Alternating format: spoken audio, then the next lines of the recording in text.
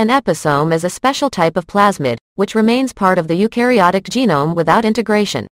Episomes manage this by replicating together with the rest of the genome and subsequently associating with metaphase chromosomes during mitosis.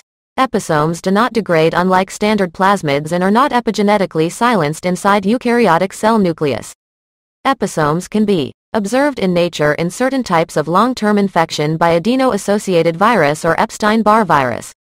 In 2004, it was proposed that non-viral episomes might be used in genetic therapy for long-term change in gene expression. As of 1999, there were many known sequences of DNA that allow a standard plasmid to become episomally retained. One such genetic sequence is S-MAR sequence. Length of episomal retention is fairly variable between different genetic constructs and there are many known features in the sequence of an episome which will affect the length and stability of genetic expression of carried transgene. Among these features is the amount of CPG sites which contribute to epigenetic silencing of transgene carried by the episome.